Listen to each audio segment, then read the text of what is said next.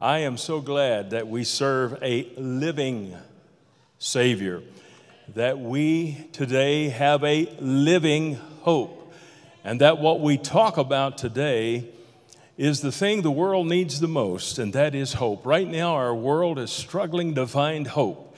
There are so many divisions, there are so many wars, there are so many things that are happening in our world to tear us apart. And yet, the Bible tells us there is hope.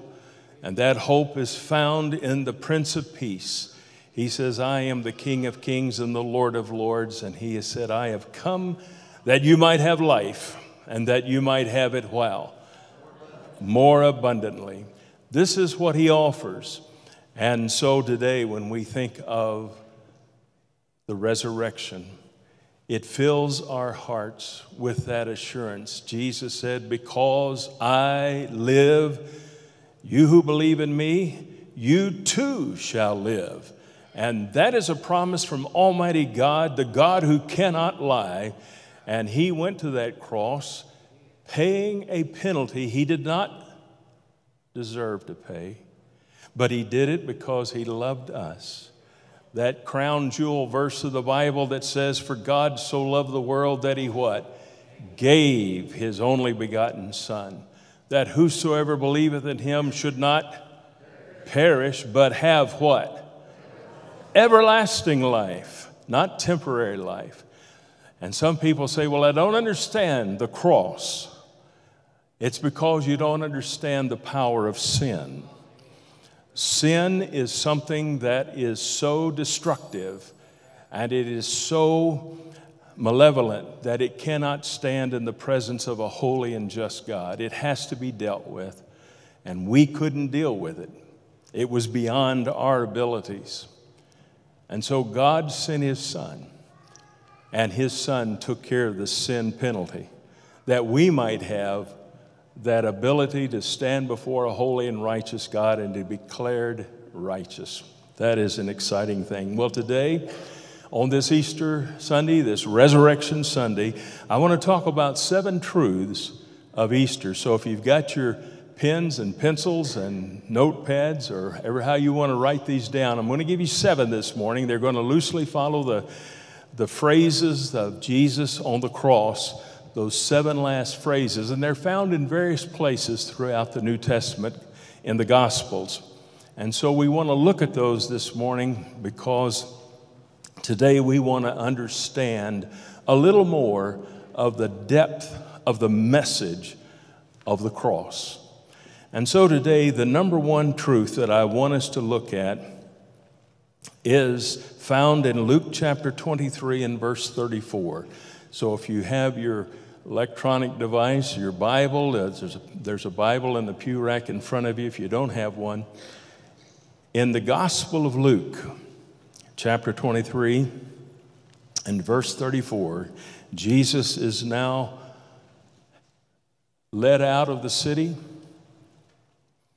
He is placed on this wooden cross, and these huge spikes are driven through his wrist and his feet. And he is lifted up, dropped into a deep hole with a thud. And he is there and he is suffering and he is going through the last acts of redemption on this earth.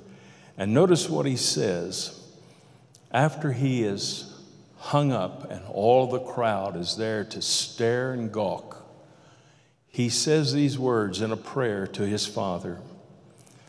He says, Father, what? Forgive them, for they do not know what they are doing. Father, forgive them. You know, forgiveness is one of the most powerful forces in the world. And if there's one thing that people look for, long for, need, is that sense of being forgiven. That sense that that which is wrong is made right. When their inner world is out of balance and they know there's something more, something missing, something they need and something they long for. And what that is, it is to be at one with their Creator, to be at peace with the one who is called the Prince of Peace. And so, this is why Christ died on the cross, that you and I might have total forgiveness. Total, not partial, total. My sin, past, present, future, all under the blood of Jesus Christ. That is what I need. I need to know that I am forgiven, that I am right with God. You see, I cannot forgive myself until I know that I have been forgiven by my Creator. When I know that my God has forgiven me, then I have the power to forgive myself, to receive that forgiveness, and to walk in a freedom I'd never had before. And so he says, as he looks upon the crowd, those who are jeering, those who are mocking, those who had spit upon him, those who had plucked his beard, those who had whipped him with the cat of nine tails, a whipping that many men died under. As he hung on that cross with his body going through wave after wave of shock, his thought was, as he looked out upon them and saw all of the pain in their lives. As he, he could name each one by name and he could tell each one of them filled with hatred, bitterness, pain, suffering, the revenge, all of the ugliness was there. It was being hurled at him, and yet he says, Father, forgive them. You see, the cross is about forgiveness. Christ came, and all of my sin, all of it, was placed on him. It was put on him as he hung on that cross. God judicially transferred all of my sin, rolled it over onto him. Why did he do that? Because God saw I couldn't handle it. God saw I couldn't pay for it. God saw that I was not able to carry that load that that load was crushing and condemning. But when it was put on Christ, hmm, he was able to bear the sin of all the world. And the courts of heaven saw it. And when he had paid that penalty, the Bible says the court of heaven declared that a way had been made available for us to have that judicial penalty of condemnation removed. Hey, folks, it's great to walk without condemnation hanging on you. I, over the years, have done a lot of counseling, and I will tell you that one of the most caustic emotions that I have seen in people's lives is the emotion of guilt. It just eats away at the very fabric of their soul. It is like an acid that just slowly eats away. Guilt is something that God did not design you to carry. God designed you to be free from that, and He made a way where you can be free. When the condemnation is lifted, I love Romans 8 1. The Bible says there is therefore now no what? No condemnation to those who are in Christ Jesus. Some people think that our God is a revengeful, ugly God, a God who is out to get us. But, folks, nothing could be further from the truth. God is not a vengeful God. God says to each one of us, I am for you, I am not against you. And we know that and if you've ever wondered whether or not God loves you, then take one look at the cross. And when you see the cross, you should have that question forever answered God is for me, not against me. So, total forgiveness. The message of the cross, totally forgive, means to remove all the guilt. To remove all the guilt. All right, well, then there's more. There's more. What's the second truth from the cross? Well, the second truth from the cross is immediate paradise. Now, you remember as you look in the scripture at Luke chapter 23 and verse 43, just down a little ways from where you are right now, notice what it says. As they were uh, all gathered around, and Jesus was on the middle cross between two thieves. And you remember the one thief blasphemed him, the one thief made fun of him, the one thief said sarcastically, If you are who you claim to be, why don't you save yourself and us? That was not a call of faith, that was a call of sarcasm, a call of mockery. If you are who you say you are. And today there's a lot of people who just cannot believe that he is who he said he was. He said that he was the Son of God, that he had come from God, and that he had come for a purpose. And that was an eternal purpose, and that was to rescue mankind from its own sin and to bring them hope and to bring them forgiveness and to bring them the majesty of heaven to come. He came for that purpose. But many people just, no, that's fairy tale stuff. But there was one on the other side. He rebuked the other thief. He said, Man, don't you understand what you're doing? We are justly condemned. This man has done nothing worthy of condemnation. You see, what he was doing was he was first admitting that he was, what, a sinner. He said, We are justly condemned. Hmm. You know, the Bible says that before anyone can have a relationship with God, they must know that they need God. And the only way you're going to know that you need God is when you realize you've got a sin problem. And so this man realized he had a problem. And he knew that he was soon going to die. And he, in faith, he turns to Christ and he says to Christ, Lord, and remember, nobody can call Jesus Lord except the Spirit of God move on his heart to call him that. He says, Lord, remember what? Me when you come into your kingdom.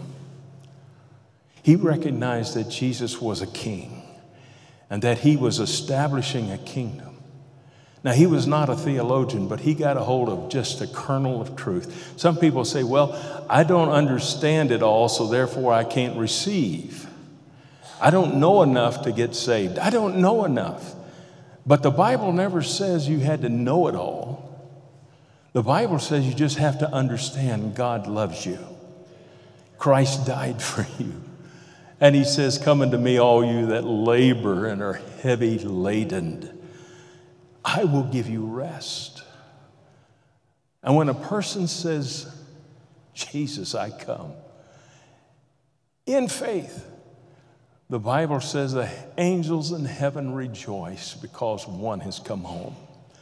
One has come back from the death to the life. And so here we see this one, this one person turning to Jesus, this thief on the cross, and he says to him, Remember me when you come into your kingdom. Two words remember me. It's so simple that a child can get a hold of it. Two words remember me. I wonder if somebody this morning needs to, needs to say those two words. Maybe in your heart, you're, you're feeling, oh my, I need, I need, I need. Then turn to the crown jewel of heaven Jesus Christ and say, Remember me. There has never been anyone who uttered a cry for help, but what heaven didn't respond. Remember me. And so there was an immediate response. Well, what was that immediate response? Jesus turned to him and he looked at him. And with eyes of love, he put the words of eternal hope into this man's soul. He said to him, Today. Don't you love that word? Today. Today. Today. You will be with me in where? Paradise. Paradise. He didn't say after a long period of time. He didn't say after you've gone to a place and paid penance for all of your sins. He didn't say any of that. Today, you will be with me in paradise. I love that. Immediately when we leave this body, sudden death, sudden glory. Sudden death, sudden glory. I've been talking with several people this week who have had experiences where they were clinically um, at a point where they could be called dead. They were brought back. But I can remember talking to several, and over 46 years of ministry experience and visiting a lot of people in the hospitals, you hear a lot of stories. And it's been amazing the similarities. There are unique differences, but there are so many similarities of people who, when this body shuts down, there is that sense of leaving, leaving, going into the presence of God. Jesus said, Friend, today, you're going to be with me in paradise. Now, either Jesus was a liar or a lunatic, or he was who he claimed to be. Nobody in their right mind is going to say that kind of nonsense unless it's true. And he gave this man hope. Now, he said paradise. Why? Because up till this time, and you know this, we've talked about this, but up till this time, all departed souls went where? To a place called Hades or Sheol. Hades is the Greek word, Sheol is the Hebrew word. It's the place of the dead. As we've said before, it was divided into two parts. One part was called paradise or Abraham's bosom. There was a great gulf between the two, and on the other side was a place of torment and flame. And we find this in Luke 16 about the rich man and Lazarus and the story that Jesus told there is a perfect example of what we're talking about. That day when Jesus died and the thief on the cross whose faith was in him when he died, together they went to paradise, to the side of Sheol or Hades that was a place of blessing. And the Old Testament saints had been there and had been waiting for their day of redemption. You see, they had faith in one who was to come. And they were in this place waiting for the day when they could be set free to enter into the total promises of God in a place called the New Jerusalem. We sometimes generically refer to it as heaven. And so that day, Jesus went with the thief. They went into the place where the saints were gathered, and Jesus, the scripture says, made a bold announcement. He says, It is done, folks, it's finished. You are free. And he says, I'm going to take you on a journey. And he says, We're going to ascend to my Father's house. Hmm. We're going to ascend. And so all of the saints, the newest arrival, the thief on the cross, he wasn't there long. And then when Jesus, the Bible says, when he led captivity captive, they had been captive in a wonderful place, but he led that captive group into heaven and presented them as trophies of grace before the Father's throne in the New Jerusalem. It was a marvelous day. As he was getting ready to take all of them up, he said, I first got to stop in Jerusalem. And he did stop. he said, I've got to meet some people. One of those people that met him after his resurrection was Mary. And when she saw him and recognized him, the Bible says she what? She went and fell at his feet, grabbed his feet, and was holding on to him, worshiping him. And he says, Mary, you're going to have to let go of me. I've got a trip to make. But he says, when I get done with heaven's business, I'm going to come back. So you go ahead and tell my disciples to meet me, in the upper room. They know where I'm going to meet them. Just tell them I'm coming back. I'm going to meet them. But right now, I've got a, another little trip I've got to make. So you got to let go. she didn't want to let go. She lost him once. She wasn't going to lose him a second time. But he said, I'm coming back. I'll be back. And so he did. He took captivity captive. And some of the recent saints who had been recently deceased, the Bible says in Jerusalem, they came out of their graves and they walked around. Wow. Can you imagine? Can you imagine? Here's your loved one knocking on your door saying, I'm back. Kind of a shock. What do you think they talked about? I'm sure he talked about the power of the resurrection and the glories that they were going to experience. You see, God allowed them to come back because the scripture talks about Jesus being the first fruits of many brethren. And so this was the little first fruits wave offering. If you go back in the Old Testament, you'll see this is what the priest did. He would take the first fruit of the harvest and present it to God in anticipation of a great harvest to come. These folks who came out of the graves during the time Jesus came out, they were part of that little wave offering, that first fruits offering. And they were the promise of a resurrection to come. Jesus promised that there would come a day when the dead would hear his voice and all those that are in the graves shall come forth. How many of you believe there is a resurrection day coming? Do you believe that? That is our hope. Yes, there is a resurrection day.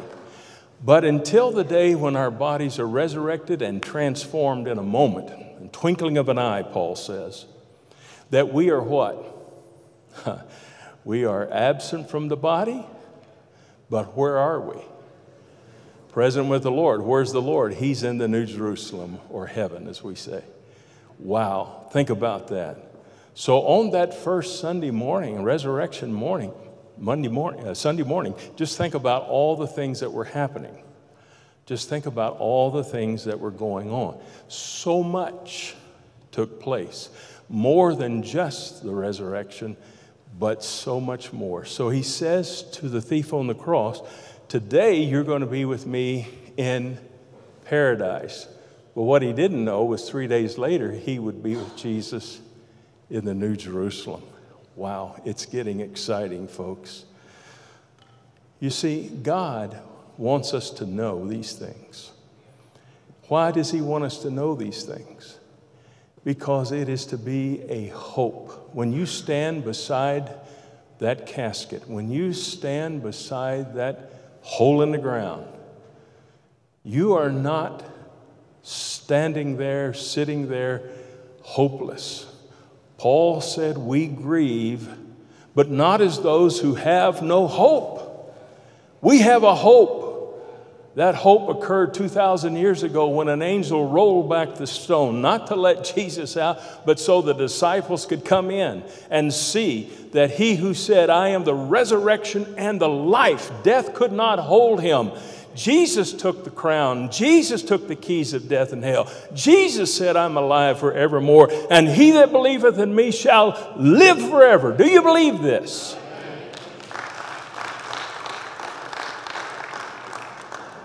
And so, number three, the third statement we find from the cross, it's in Matthew 27 46. If you want to turn there, Matthew 27 46. And about the ninth hour, Jesus cried out with a loud voice, saying, Ila, Ila, Lama Sabachthani. Aramaic translation, My God, my God, Why have you forsaken me? Mm. Why have you forsaken me? Well, the third truth is this, and we're going to get into it, but the third truth is never forsaken. Never forsaken. For some people, this is a difficult verse to understand, but it's actually very easy to understand. Once it's explained, Hebrews 13 5 for he himself has said, I will never leave you, I will never what? Forsake you. Now, where was this said? Well, God said that to Moses, and he said, Tell this to the children of Israel. He also said this to Joshua after Moses had died I will never leave you, I will never forsake you. David put it this way in, in the Psalms. In Psalm 37 25, David said, I have been young and now I'm old. Yet I have not seen the righteous forsaken, nor his descendants begging bread. Now, let me remind you that we are righteous by grace and grace alone. So, why did Jesus say, My God, my God, why have you forsaken me? because God forsook Jesus on the cross so that he would never have to forsake you. You see, when Jesus was covered up with our sin, all the filth, all the pain, all the darkness of sin, all the ugliness of sin, whatever sin you could name, whatever blackness you could call it, when it was all placed on him, the Bible says in that moment when my sin and yours was transferred to Him, God, who is holy and just and pure and righteous, could not, could not look upon that. Could not. You see, some people think, well, God's just going to let everybody into heaven. He's going to sweep all of our wrong under the rug. It doesn't matter. It does matter, and He can't sweep it under the rug. His own righteous law declares that it must be dealt with. And that's why Christ agreed to be the one who would deal with it. And he said, Let me be the substitute. Let me take their place. And the father said, All of this will be upon you, and I'll have to turn away from you. You see, Jesus never in eternity past had ever known a moment of time where he was not one with the Father, where he was not in the Father's presence. I think this frightened Jesus, if I could say that word, more than anything else he would endure, was the fact that he had never known sin, and for the first time, sin would be felt by this righteous soul, and he would experience the Father turning away. Something he had never known, something he had never experienced. And in that moment when it occurred, it is as though his humanity just cries out, Oh, why have you forsaken? His deity understood the why. His humanity felt alone and forsaken. Why did God turn his back on his son that day? So that he would never have to turn his back on you or me. Never forsaken. Never forsaken. This shows us that salvation is by grace, not works. Because if it were by works, then you could do something to get God to reject you. But you can't do anything to get God reject you. If you put your faith in Christ, He will never leave you. He will never reject you. And that's the truth of resurrection morning.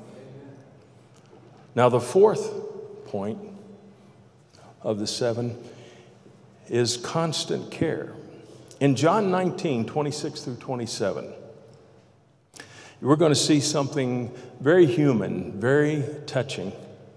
Because as Jesus was on the cross, his mother Mary was at the foot of the cross.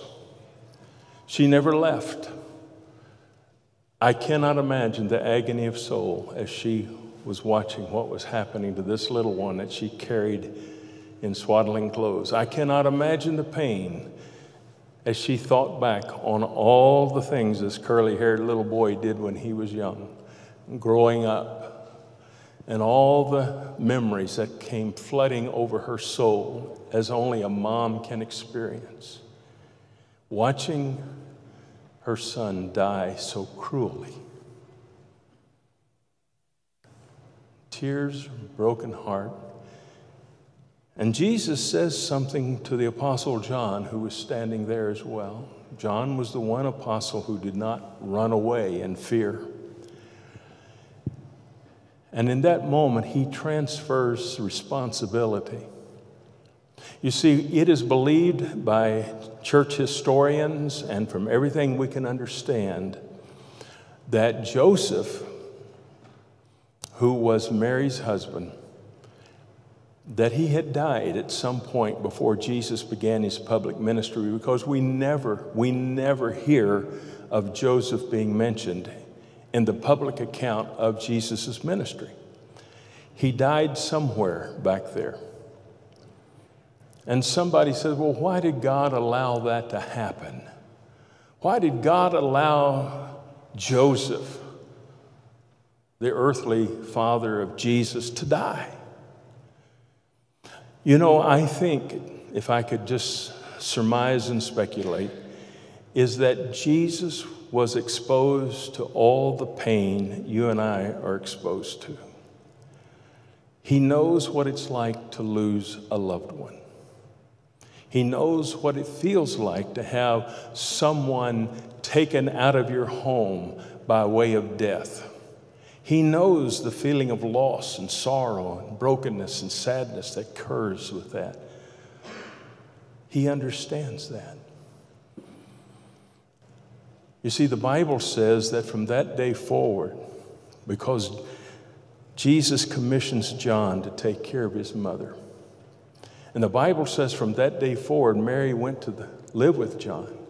And she lived with John all the days of her life, and she lived a long life and a fruitful life until she died. That would not be the case if Joseph was still alive.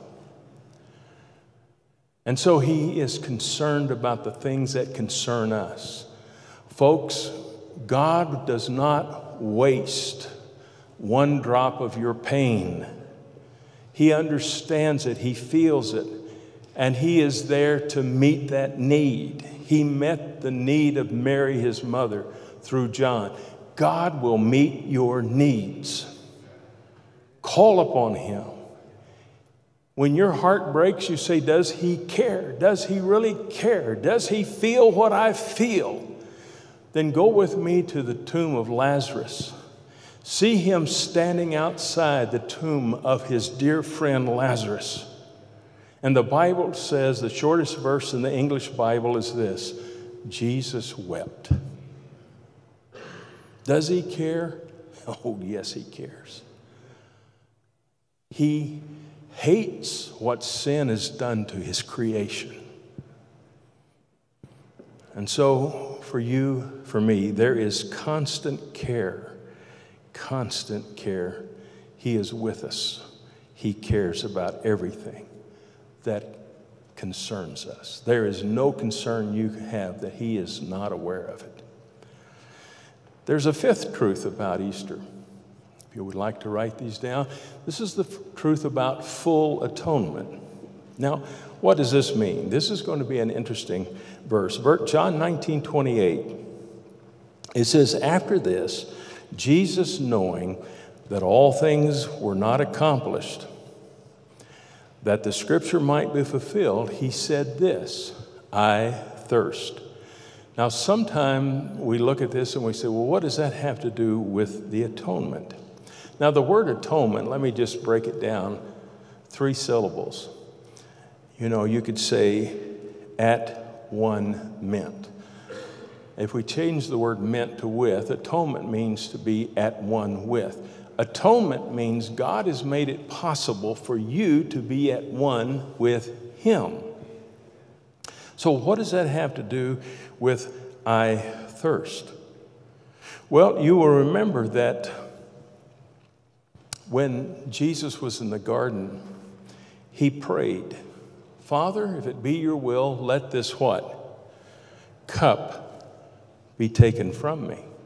But then when they came to arrest him, and you remember Peter pulls out a sword and chops off the ear of the high priest servant, which Jesus, by the way, stuck back on, healed, told him to put up his sword. He says, Do you not know that I must drink this cup? Drink this cup. So he had come to the point of knowing and understanding that it was the Father's will that he drink this cup. And so, how do we interpret this? You see, when he hung on the cross, he said, I thirst. Now, prior to this, they had tried to give him something to drink. And he what? He refused it. But yet he says after that, I thirst. Could it be that what he was talking about was a thirst for something else? Just a thought. Was he physically thirsty? Oh, you better believe it. This kind of torture, this kind of shock of the body, yeah, there would have been immediate thirst. Loss of blood, yes. There would have been a horrific thirst physically. But could it also be that he's talking about the cup that the Father gave him? Maybe he was saying when he said, I thirst, he said, I am ready. I'm ready to drink this cup. I'm ready to grab hold of all of the sin and jump into death. I'm ready to drink the cup.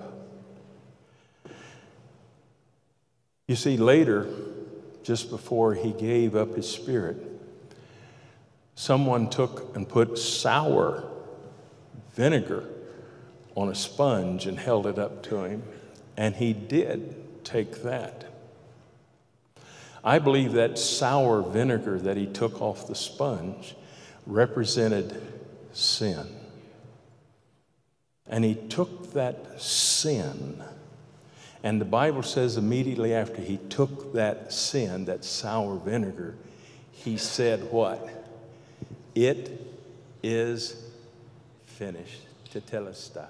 Tetelestai. It is finished. So, could it be that the cup of I'm thirsty was the cup of I'm ready to make this full atonement for sin? Number six, number six, the sixth truth of Resurrection Sunday is that it's completely finished. Completely finished. I love this because he said, It is finished. Now, folks, if Jesus says it is finished, John 19 30, if he says it is finished, then let me ask you, is it what? Is it finished? Is it finished? Come on, is it finished? Yes. So why are you trying to add to it? Well, I, you know, preacher, I got to just, you know, keep the golden rule and, I, you know, just try to do unto others and I've got to, you know, do the best I can and, and, and I just got to hope I make it to heaven and do all these good. Listen, that's nonsense because you can't do enough. The message of Christianity is not D-O like every other religion in the world. The message of Christianity is D-O-N-E. It, the whole gamut of man's salvation, it is finished. The ledger that held all of your debts was stamped paid in full. Paid in full. You stand before a holy God with your sin debt paid in full. It is completely finished. Hebrews 4 3 says, The works were finished from the foundation of the world. Revelation 13, 8 says, The Lamb slain from before the foundation of the world. Well, how can it be from before the foundation of the world? And yet, here at this moment in time, it is finished. And that's because God is eternal, He lives outside of time. But He came into time in the form of a babe wrapped in swaddling clothes, laying in a manger. And in time, our time, He completed what had already been completed before the foundation of the world. And so it's finished, finalized. You remember, men came to Jesus one day in John 6 28 and 29. They said to him, What shall we do that we may work the works, plural, of God? Jesus answered them and said to them this He said, This is the work, singular. This is the work of God that you believe in him who he sent. Romans 10 9, that if you confess with your mouth the Lord Jesus Christ and you believe in your heart that God hath raised him from the dead, you will be saved. That's a promise again from Almighty God. And then the last truth that we leave, and that is eternal commitment. You see, Jesus said, Into your hands, Father, into your hands, I commit my spirit. Luke 23 46. You see, God makes a commitment to you when you make a commitment to Him but you've got to be all in. All in. Now, you remember that at one of the Passovers Jesus attended, and he attended every single Passover. Jesus missed no Passover. The last Passover he attended was when he was crucified. He went to all of them. But in John 2, he went to a Passover.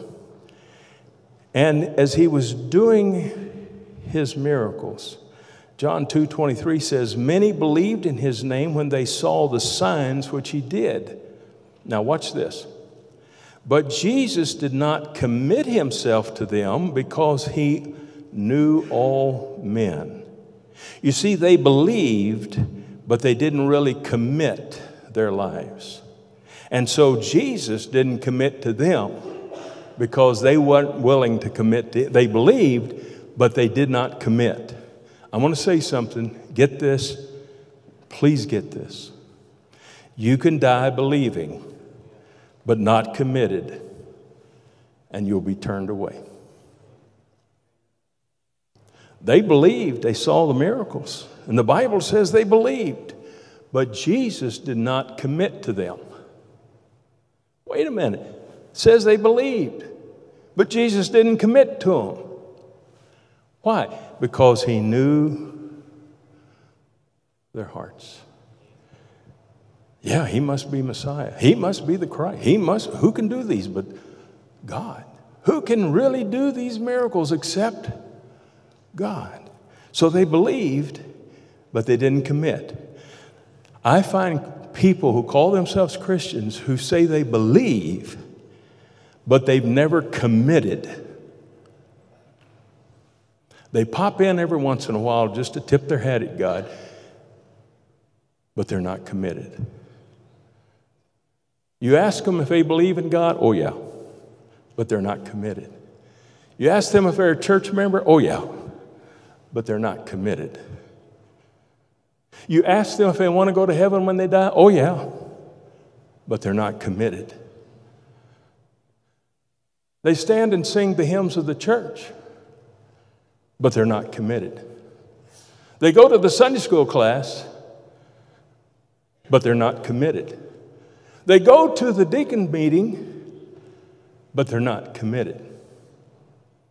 And sad to say, there may be across pulpits in this country people who stand and preach, but they're not committed.